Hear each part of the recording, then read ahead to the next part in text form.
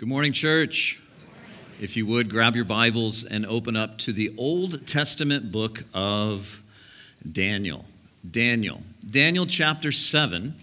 This morning, we're, we're kicking off a brand new series in the second half of the book of Daniel, kind of through this theme that we would entitle Control in Chaos. Anyone ever experienced chaos? And everyone ever met a two year old? Lived in Gulf Breeze for the last four years, the land of the orange cones. You could almost like follow the orange cones, follow the orange. That's where we are, chaos. Well, the first six chapters, we learned so much. I think through the life example of Daniel and his friends, of what life can look like under the authority of God someone who is surrendered first and foremost to Him and then them. But first, Him. And when someone chooses to say, I will live under the authority of God, surrendered, that begins over time to become very counter to the culture. Does that make sense? If it doesn't, you can read Daniel chapter 1 through 6 and go, oh, there it is, it makes sense. Um, in this series, here's what we're seeking to learn one simple truth. How do I live in a place, learn to lead a life of serenity in the midst of chaos? So much of life, if, it, if I can have your attention on this, is out of your control. So much of life is. That's why this prayer really resonates with me. Let me read it to you.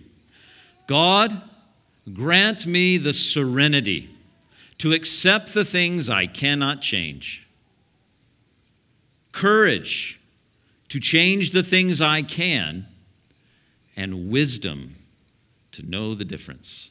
Anyone ever heard that before? You, many of you. Wow. Life can be, and, and please hear this it can be, and oftentimes genuinely is, chaotic. Things may be happening that you or I or we may wish weren't. There may be a situation in which we want change, but feel powerless, or, in effect, are powerless to affect change. It's beyond my ability to control this.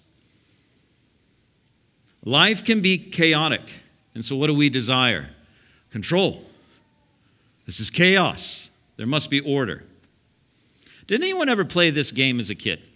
Do you know this game?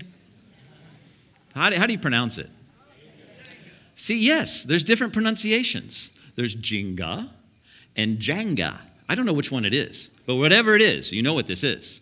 This, my dear friends, is this. Let me show you what this is. This is neatly stacked in here, and it never falls over. It just stays right where you want it to. Jenga is like this. Even a knife in there. It's chaos. Like when you, you have this game with these blocks that you're seeking to take and stack them in this little cardboard thing and then make a tower and then for those of us that struggle with OCD, this is a major challenge. A major challenge because we're like, ah, and then one thing, and it's just a stressful game. Life is stressful enough. Why do we need Jenga introduced into our lives? I don't get it. Like, this is not my game. I don't even, I don't like this game. It's not the game that I would have. That's not my style. But life can be like Jenga, Jenga, whatever you call it to be, chaos. Chaos. How can we have control in chaos? Daniel chapter 7 through 12 will show you. Don't listen to me. Don't listen to me. Listen to Daniel chapter 7, chapter 8, chapter 9, chapter 10, chapter 11, chapter 12. Well, what will we see? Well, I think all of us would love to get to a place where we could finally go like this The blocks are stacked. They're not moving. The dust is settled. I've arrived. I'm safe. I don't have to think anymore. I can just live in a rut. I mean, a rhythm, right? I can just live on a cul de sac. Same thing every Monday, same thing every Tuesday, same thing every Wednesday, same thing every Thursday. Life is meant to be lived linear, not in a circle. You're on a journey of going forward. Therefore, what was yesterday is yesterday. It's over, it's done. Let it go. The position you had yesterday was yesterday. The people that were in your life yesterday was yesterday. Where are you today? That's what matters. See, here's the deal. If you're hoping in this series, oh, great, we're going to learn how to live in control when it's chaos. Let me put something up on the screen and totally disappoint you. Here it is. It is not our goal to be in control, but to have self control because we know and trust who is ultimately in control. This series is actually about self control in the midst of chaos. Not you learning, how can I control? How can I manipulate? How can I force this? How can I? You know, I have six children. Here's something I've learned when they are young, they need control. Do not take the fork and put it in the outlet. They do not need influence at age two. Dear, sweet, lovable child, don't take the dingle hopper and put it in the outlet. No, no, you don't do that. You use the word no quite often. But here's what I've learned when childhood is done, and it does end. And then there's this season called adolescence. Anyone ever been through adolescence? You know about that? You've heard about it? And that's when the currency must change from control to influence. Not overnight. You still have to have control. But if you use control language like you did at age two, and say, well, from 12 to 22, I'm using the same language, it's not going to work. You need a currency exchange of control to influence. But it's not overnight. I think it's from like age 12 to 22. Does that make sense? Where this is what's changing. You're beginning to say, Hey, I'm not your friend. I'm your parent, but I want to be your friend. And I want to be able to parent you through adolescence so that one day we can be friends. And I want to do it in a friendly way. But my role is a role of influence, Lord willing. Like with a two year old, a three year old, a four year old, they need control. I'm not saying a 12, 13 through sometimes 72 still needs an element of control. Please mis- don't misunderstand what I'm saying. But if you wait too long and they go, gosh, I got to control my 19 year old, good luck with that, man. That ain't going to work. The goal is to learn to live self controlled because we know who ultimately is in control. Now, we're in Daniel chapter 7, verse 1. If you're there, can you let me know by saying God is in control? Let me read verse 1 of chapter 7. Reading from the New Living Translation, this is Daniel. He says, Earlier during the first year of Belshazzar's reign in Babylon, Daniel had a dream and saw visions as he laid in his bed of sugar plums and fair. No, no, no. He wrote down the dream, and this is what he saw. Chapter 6 to chapter 7, there's a change. We were getting story time about Daniel's life in chapter 1 through 6. Chapter 7 says he had a vision. This is different. Many people that teach to the book of Daniel, they stop at chapter 6 because they go, chapter 7, 8, 9, 10, that's chaos. Who wants to touch that? Daniel 1 through 6 describes a life surrendered. Daniel 7 through 12 describes visions that Daniel has that take place during the timeline of life between chapters 4 and 5. This vision came to Daniel after the reign of the Babylonian Nebuchadnezzar, but during the reign of the Medo Persian Empire. Today, chapter 7 is the first vision of four. How many? There's going to be four visions. How many visions are in Daniel chapter 7 through 12? Do you happen to know? Quattro, four. There's four. Today we're looking at one. But here's what I need to say This is the most comprehensive of the four visions. So it's kind of rainy outside, it's kind of warm. Maybe you got your coffee. You're thinking, man, this is going to be a great sermon just to sleep through. I'm going to tell you, this sermon is going to be intense. Like, we're going to go all the way through chapter seven. I went to Bible college. Like, you spend weeks upon weeks in chapter seven.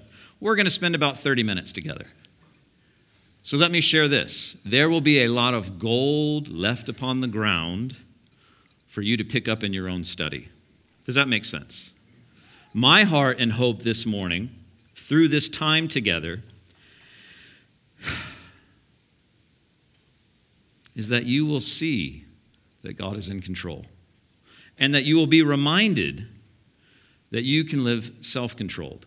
I want you to be reminded. That's why we make these little bracelets. I need these reminders. The people of the Old Testament needed reminders, things tied around their garments to remind them of God's truth. But also, it's open doors to share God's truth. I want you to be able to live self controlled in the midst of chaos because chaos is coming for you. It's coming for you. And you don't have to allow chaos to lead you. You can be self controlled because you know that God is in control. So here's what we'll do in the remainder of the time that we have together. We are going to consider the text, all 28 verses of it, in one big chunk.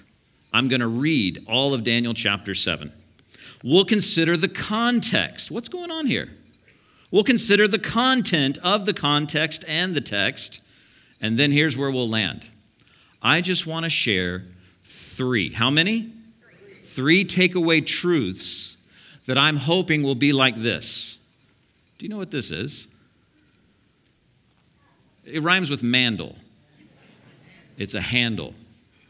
Takeaway truths are a handle for you to go,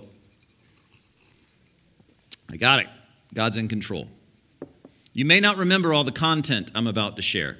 You may not remember the context. You may not remember all 28 verses. But I'm hoping to give you three handles, takeaway truths, to say, okay, I see from Daniel 7, here's how I can apply this. Now, I am a terrible reader. Anyone else in, like that in life? Like, I'm an auditorial, a visual learner and I like to get the lesson quickly, if, if I can. I would love for Jerry to read the book and tell me about the book. Does that make sense? So here's what I've done I wrote out word for word the notes that I'll share today. If you're someone that would like, boy, that guy, what was he talking about? There's notes in the back and online that you can take. Oh, there's those three truths. I had to sit for 45 minutes for him to finally get to them, but there they are. Uh, because I want to make sure I'm not giving you handles without the appropriate context. Does that make sense? I don't want to give you tweetable, well, I guess tweeting's not a thing anymore, but like, I don't want to give you one liners that rhyme and that are alliterated. They go, where's that in the Bible? I want you to be able to go, that's where it is. I see it. That's what we'll do today. So let's read the text, Daniel chapter 7, verse 1 through 28. And like Rob did, I am going to do, but I, I mean it this time. Can we stand together as we read the text? I'd like to read Daniel chapter 7, verse 1 through 28. It's intense. Eh, you might sleep through it. That's why I need you to stand. It's more challenging to sleep when you're standing. So let's read through this text. I'm going to pray, and then we're going to get into the context, the content, and the takeaway truths. Here it is. We've already read verse 1, so let me read verse 2. In my vision that night, I, Daniel, saw a great storm churning the surface of a great sea with strong winds blowing from every direction. Then four huge beasts came up out of the water, each different from the others. The first like a lion with eagle's wings. And as I watched, its wings were pulled off, and it was left standing with its two hind feet on the ground like a human being, and it was given a human mind. Then I saw a second beast, and I looked like a bear, and I was rearing up on the one side, and three ribs in its mouth between its teeth. And I heard a voice saying to it, Get up, devour the flesh of many people. Then the third of these strange beasts appeared, and it looked like a leopard. It had four birds' wings on its back and four heads, and great authority was given to this beast. Then in my vision that night, I saw a fourth beast, terrifying dreadful, very strong. It devoured and crushed its victims with huge iron teeth and trampled their remains beneath its feet. It was different from any of the other beasts, and it had ten horns. As I was looking at the horns, suddenly another small horn appeared among them. Three of the first horns were torn out by the roots to make room for it. This little horn had eyes like human eyes and a mouth that was boasting arrogantly. I watched as thrones were put in place, and the ancient one sat down to judge. His clothing was as white as snow, his hair like purest wool. He sat on a fiery throne with wheels of blazing fire, and a river of fire was pouring out, flowing from his presence. Millions of angels, millions of angels ministered to him, and many millions stood to attend him. Then the court began its sessions, and the books were opened, and I continued to watch because I could hear the horn's boastful speech. I kept hearing, I kept watching, I'm sorry, until the fourth beast was killed. Its body was destroyed by fire. The other three beasts had their authority taken from them, but they were allowed to live a while longer. As my vision continued that night, I saw someone like the Son of Man. Someone like the Son of Man, coming with the clouds of heaven. He approached the Ancient One and was led into his presence. He was given authority and honor and sovereignty over all the nations of the world, so that people of every race and nation and language would obey him. His rule is eternal, it will never end. His kingdom will never be destroyed. I, Daniel, slept through this. No, he says, I was troubled by all I had seen. My visions terrified me. So I approached one of those standing beside the throne and asked him what it all meant. And he explained it like this Look at verse 17. These four huge beasts represent four kingdoms that will arise from the earth. But in the end, the holy people of the Most High will be given the kingdom, and they will rule forever and ever. Then I wanted to know the true meaning of the fourth beast, the one so different from the others and so terrifying. It had devoured and crushed its victims with iron teeth and bronze claws, trampling their remains beneath its feet. I also asked about the ten horns on the fourth beast's head and a little horn that came up afterward and destroyed the three of the other horns. This horn had seemed greater than the others, and it had human eyes and a mouth that was boasting arrogantly.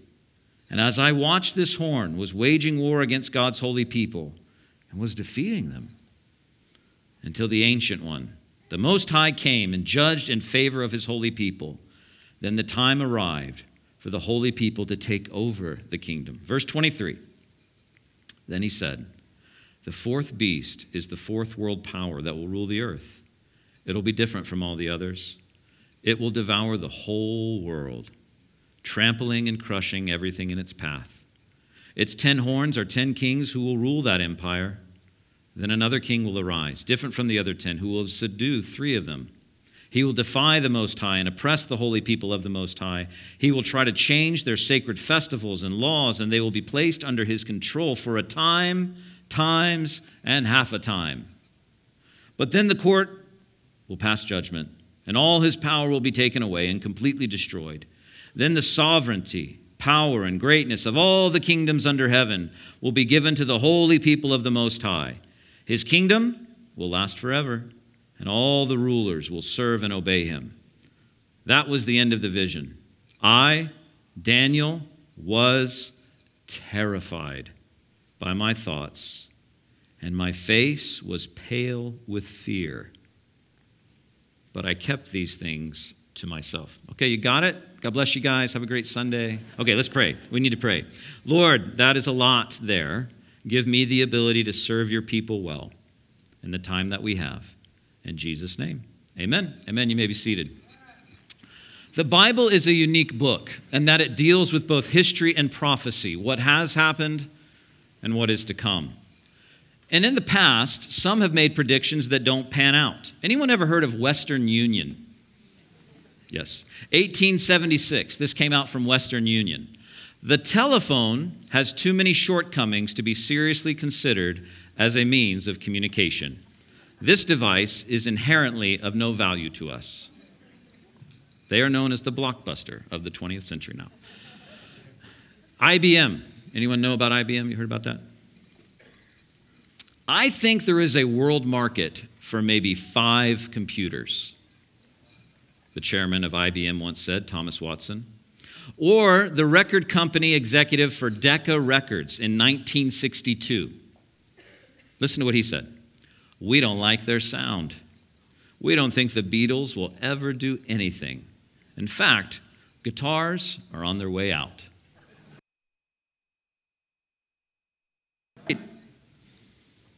But the Bible has proven to give us prophecy that translates into reality.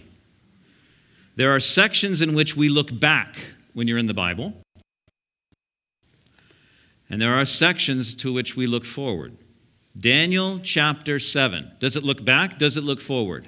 Yes. Yes. It looks back and it looks forward. For him, in his vantage point, most of everything was future. For us, in our vantage point, it's both history and a mystery. There's some that has not yet been fulfilled.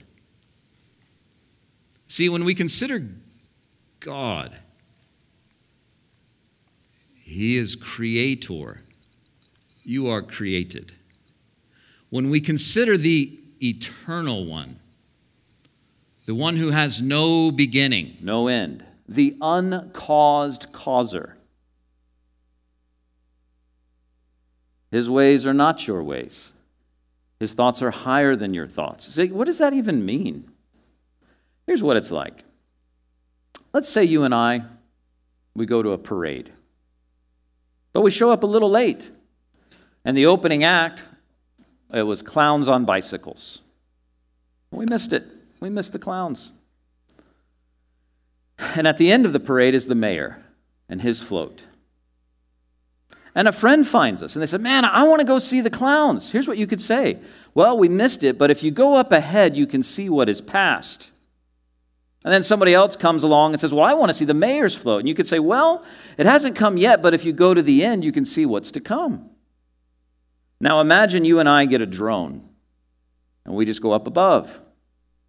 We would see everything at once. Does that make sense? Everything in a single moment. Daniel chapter 7 is a drone. Does that make sense? There's so much time and history and things of mystery that are discussed here, and it's like goulash. And you're like, what is, what is going on here? How, how does he see? What is he saying? Well, in 28 verses, he's seeing past, present, and future. And he's seeing, if I can put it to you in this way, three sets of kingdoms. Let's put them up on the screen. He's showing to us three kingdoms, but they're not linear in even their description. Do you see the verses there? How, How in 1 through 7, and then 15 through 23, and 11 through 12, and 21 through 26, and 9 through 14. He's talking about three kingdoms. This is the context of the text that you're in. Now, what I would like to do in the brief amount of time that we have is unpack these three kingdoms in the abridged version. Do you know what the unabridged means? It means Bible college. Abridged means a sermon. Like, oh, here's just what we're talking about. The kingdoms of this world, chapter 7, verses 1 through 7, we have an explanation. Verses 15 through 23, we're given a description an explanation and a description of these four animals that represent kingdoms. Now, listen, please tune in here. How many have ever heard of uh, chapter 2 of the book of Daniel? If not, you're hearing about it right now for the first time. Which comes first, the chicken or the egg? Who knows? But which comes first, chapter 2 or chapter 7? Chapter 2. Well, why do I say that? Daniel chapter 2 and Daniel chapter 7, we are seeing a description of the same kingdoms, but in different ways. Do you remember the vision of the multi metallic man in the four kingdoms? That, that's what we saw there. Remember this. Well, this vision of Daniel represents the same four kingdoms. Let's use this next slide to highlight that. They're the same. but described from a different vantage point, a different imagery. It's kind of like going to the movies. This is the same plot from the 80s, but it's 2020. Like they're going to reboot Lord of the Rings. What else can they do? They're out of things to do. It's like you're hearing the same thing, but from a different vantage point. The lion with the wings of an eagle, Babylon, in which Nebuchadnezzar was the image of the head of gold. A description of a lion being lifted up to stand like a man and given a man's heart reminds us of how God humbled King Nebuchadnezzar and made him live like a beast for seven years. The bear with three ribs in his mouth, the Medo Persian Empire. The bear was raised up on one side. The Persians were stronger than the Medes. The ribs, most likely, likely, represent Lydia, Egypt, and Babylon. And the Medo Persian Empire armies were well known. They overwhelmed their opponents with strength and size. The leopard with four wings. Each animal is mighty, but dominates its prey in a different way. The lion devours, the bear crushes, and the leopard springs upon its prey. Alexander the Great went so incredibly fast. One author put it this way Nothing in history of the world was equal to the conquest of Alexander, who ran through the countries. And then the beast identified with the four, four heads and four horns. Well, Alexander died without a successor. His kingdom divided into four parts to four leaders. And then this dreadful and terrible beast of Daniel chapter 7, verse 7 the Roman Empire, as strong and as enduring as iron, as uncompromising as the beast on a rampage, the Roman Empire was the most unified and enduring of all the kingdoms. And that first set of kingdoms, in Daniel 7, we see all three. Do you, understand? Does this make sense? Maybe at this point you need to see a picture of like a, like a baby or a little puppy or a bunnies or something like that to go, okay, I don't know what he's talking about, but I know what a bunny is. Like maybe I know what a little kid is or something like that. Is this, is this making sense? Do you know where we are? We're seeing the kingdom, as it were, of this world. Next, we're going to see the kingdom of Satan. Remember, there's three kingdoms expressed in Daniel chapter 7 the kingdoms of this world, second, the kingdom of Satan. What's interesting is that verse 12 indicates that each kingdom exists in some way with the succeeding kingdom devouring it. It says that in verse 12. The other three beasts had their authority taken from them, but they were allowed to live a while longer. Daniel saw that the last human kingdom on earth would be a frightful kingdom. Remember when we read this, when he's all seeing, he says, I'm terrified. Like the color in my face is literally gone when I see what's coming for you. Like things are going to get darker. They're not going to get better. They're going to get worse. Welcome to church. No, I mean, like, but this is what he's saying that things are going to get darker. The last human kingdom on earth will be frightful, unlike anything the world's ever seen. They will even declare war upon God.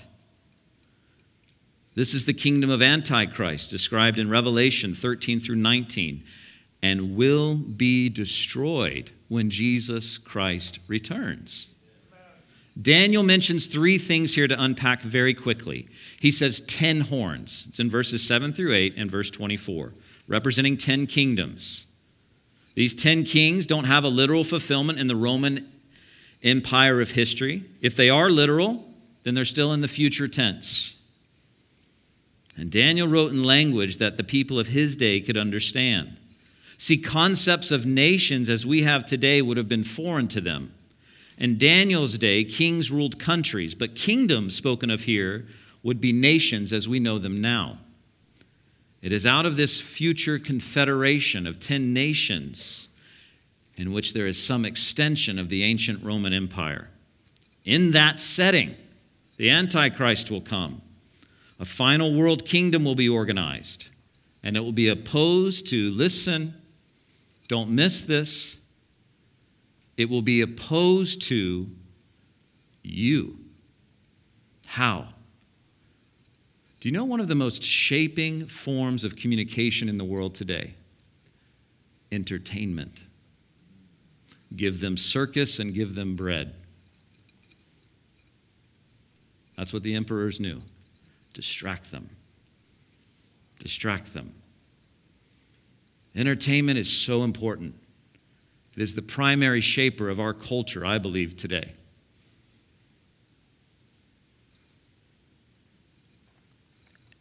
And not all entertainment is for your good.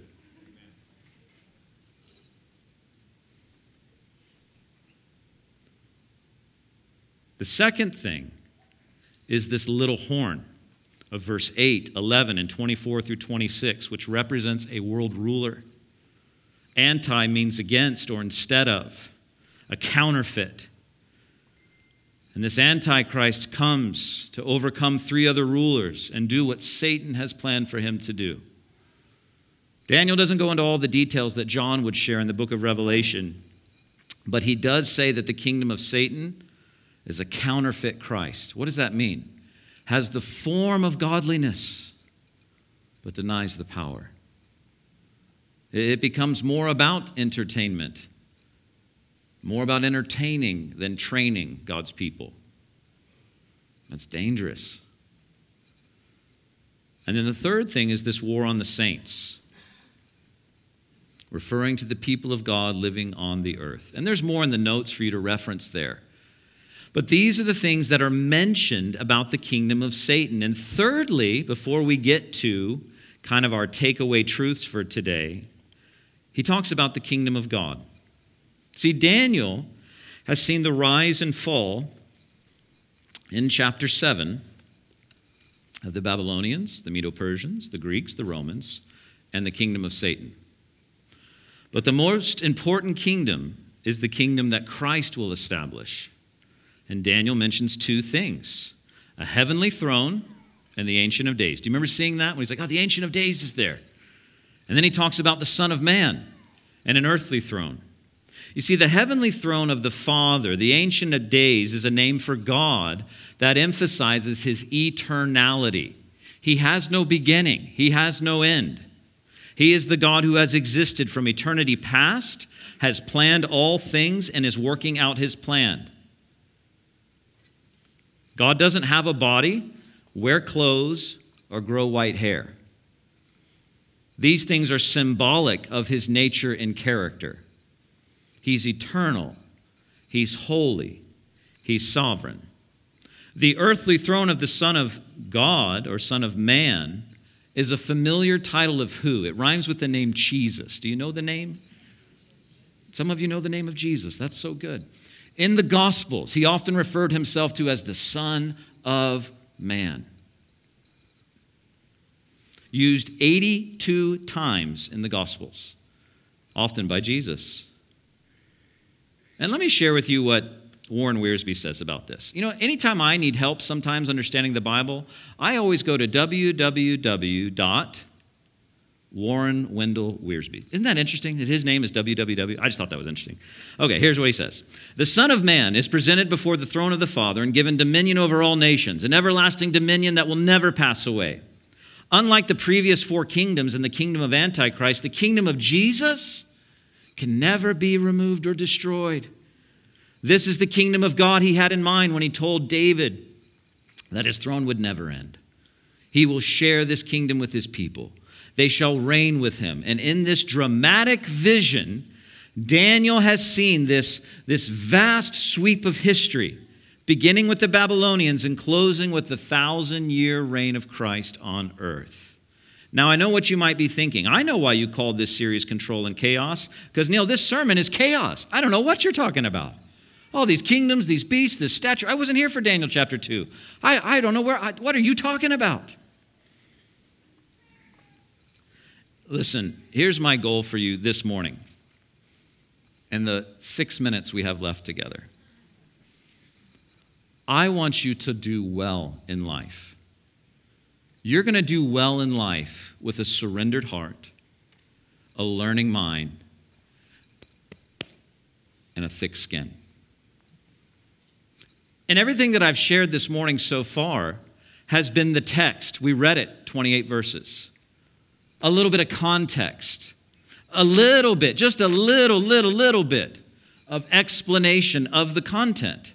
That what this is talking about is three kingdoms. But listen, even this chapter is a little bit like Jenga or Jenga or however you say it. You're like, okay, I see this kingdom, I see this kingdom, but then over here there's a description, over here there's an explanation. This one's like this, it builds on this, it absorbs that one. Oh, then there's 10.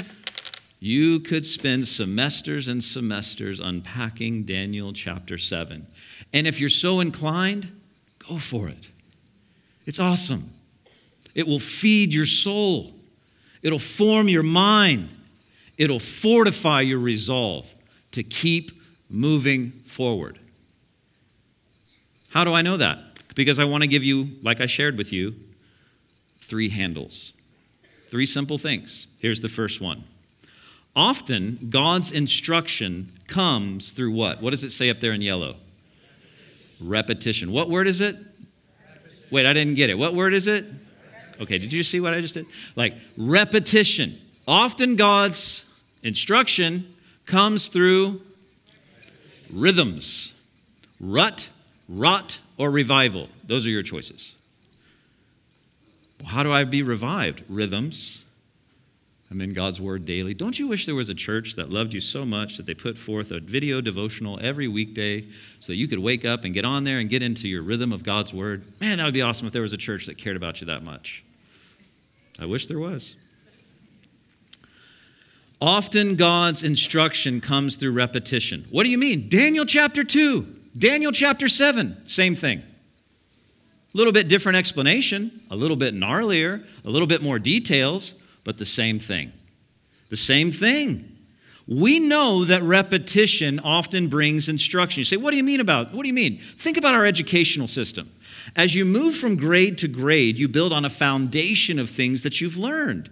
And you often repeat fundamentals by building upon them. Does that make sense? Like in, in, in, in uh, second grade, did anyone make it through the second grade? I can't tell if everyone here really did. I don't really know. Did everyone here make it through? No one in the back left. Okay, we got Coastline Christian Academy for all you got? No. When you went through the second grade, you had a math class, right? Fifth grade, did you have a math class? Eighth grade? Why do we have to keep learning math? We learned it in second. Because you're building upon it, you're building upon rhythms. Anyone here, you don't have to raise your hand on this, been a Christian for six months or less? Great. Six years or less? Great. 16, 26, 36, 46, 56. Here's what I want to share with you you still need God's word, still need prayer, Still need to be sharing your faith. Still need to be giving and serving and learning and praying and singing those 10 values. You don't graduate from them, you build upon them day by day. Someone once asked me, Neil, how long did it take you to prepare that sermon? 42 years, eight months, and I'm still building. We learn through repetition. That's what's happening in this passage. In marriage, it seems like it always comes back to a few things. Husbands, die. Prefer your wife over yourself. Die. Put her first. Sacrificially love her. You will be challenged in that in every way. Spouse, wife, respect and allow him to lead. Ooh, those are, man, you could you feel the tension? Like, you're like, man, those are, I don't want to hear that. Like, no, that's, that's the rhythms of marriage. And communicate, communicate, communicate in verbal and nonverbal cues. Love and respect one another. In parenting, you, you know about rhythms, that you have to have them. Think about the Word of God. Let me share this illustration with you. We'll put it up on the screen about the book of Judges. The people of God in the time of the book of Judges seven times went through this cycle sin, oppression, repentance, deliverance, peace. You don't have to raise your hand, but do you see any parallels in your own life? I got to get back to church. I, oh, we're good. We got to go back to church. Oh, I got to get back to church. Ah, this is the cyclical dynamic, and God is teaching people. Jesus with his disciples. Calming the storm, walking on water, feeding the 5,000. What is God showing in the Old Testament and in the New Testament? God is faithful. Let me put it to you this way trust and obey, for there's no other way to be happy in Jesus but to you, yeah, over and over. It is impossible to please God without showing up to church every single Sunday. Isn't that what the Bible says? It is impossible to please God without giving everything you have to the poor. It is impossible to please God without, it rhymes with maith. Faith. Many sit on the pine pony of analyzation due to fear. I won't step out. What if I fail? What if it doesn't work out? What if I talk to someone and they don't talk back to me? What, what if I try and invest my time, my money, my resources in this and it goes flat? You've already failed. Because failure is to sit and to do nothing. Failure is to do nothing. See, falling is not failure, failure is failing to get up. Everyone falls. Thank God for the Edison guy that he fell a lot, or you'd be sitting in the dark right now. You don't have to be a failure. It's not what God's designed you to be. He's designed you to move forward. How do I do that? I take a step of, it rhymes with maith, church. What is it? Faith. You're never going to graduate from ventures in faith. Never. And if you have, then you're just waiting to be buried. You're dead. You're not going anywhere. Because life with God is a life lived by faith, and often God's instruction comes through repetition. Let me ask this question What instruction is God bringing, bringing into your life over and over and again? Are you listening? Trust Him, listen to Him, obey Him. That's how you have control in the midst of chaos, not by doing this. Well, I'm just going to try and get as much of this in here as I can. There's more Bible study, more Bible study, more Bible study. That's good to a point. But do you know why we listen to the Word of God? So that we can learn the Word of God. Yes, yes, yes. But why? So that we're not lame, loco, lazy. So that it translates into an attitude, into actions. We learn the Word of God so that we can live the Word of God. How do we live? By faith. By faith. The secret to life is to live right where you are. Right, Oogway? Yesterday is history, tomorrow is a. Live right where you are. If you have breath in your lungs, there's purpose for you, glorious purpose. Step into it, open your eyes, and see that God has something for you now. And if you're holding on to what she did or what he said or how this didn't work, you are not living. You're just surviving. And God's design for you is thriving in Him in seasons of rest and recovery and rhythms. But it will not happen unless you take a step of faith. Everyone here has a next step. Everyone in this room, on this stage, on the other side of that camera. You have a next step in your journey with God. He hasn't called you to live on the Christian cul de sac. I'll just do the same thing every week. No. Take ventures of faith. Second, take away truth. Let me put it to you this way it's very simple. It doesn't rhyme, it's not even alliterated, but here it is. We've been given the Word of God. When a ship is in the midst of a chaotic storm, what keeps it stable? The rudder. And the Word of God has been given to us so that when things are chaotic, what do we do? We go back to these truths Greater is He who is in me than is in the world. All things work together for good to those that love God and are called according to His purpose. Behold, I am coming, the Lord says, to establish a new heaven and a new earth where every tear will be wiped away. The Word of God forms and fashions you to be able to do this. I can stay self controlled, even though things are out of control, because I know who's in control because of the Word of God. The better you know this book, the more at peace you will be in life. But not in an academic pursuit, a faith pursuit. One that translates from the 18 inches from here to here to here, and let me just share one other place to here. If this doesn't change the way your face looks, something's wrong. If people see you and go, ooh, that's a bummer. Like, that's not, that's not you. That's not the aroma of Christ. It's the aroma of death, you know. An attitude is like an aroma, it permeates all around you. Often God's instruction comes through repetition. We've been given the Word of God. And let me just share one last takeaway truth. It's very simple Jesus, this is what's happening for you. Jesus is coming back again. So, how do I know all that? Daniel chapter 7. Read the Bible. Read the Bible. Don't listen to me.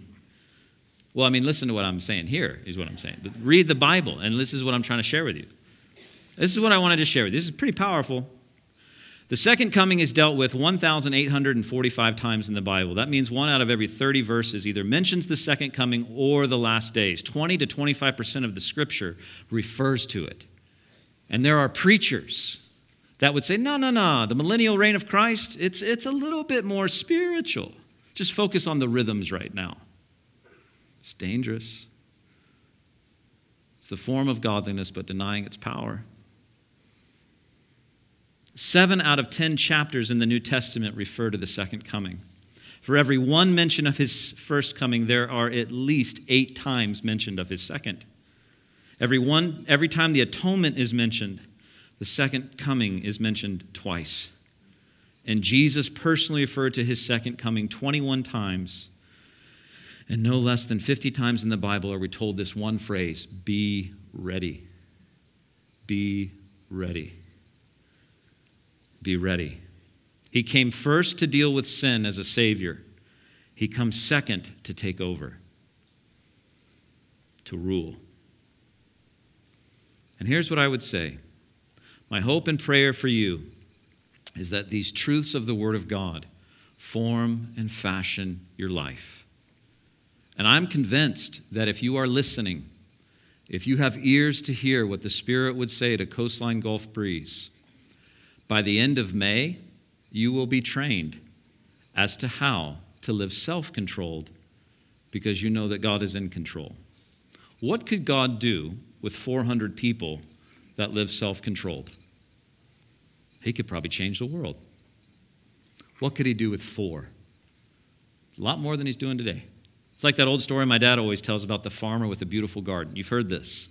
When someone comes up to the farmer and to compliment him upon the everything that's going on in his farm, his garden, the rows and the production and the organization and how many people are benefiting from. And he goes, My goodness, isn't God good? And the farmer says, Absolutely, He is.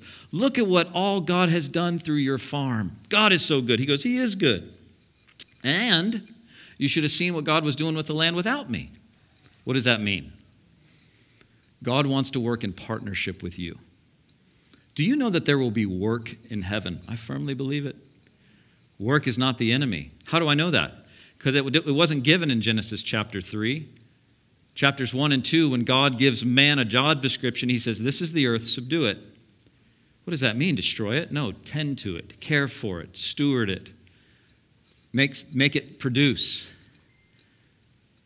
You are most alive when you are contributing to something, when you're serving. If you're sitting, no wonder you're bummed. You become like those two guys in the Muppets. You know what I mean? Like, that's what happens to critics. But if you're engaged, then you're engaged.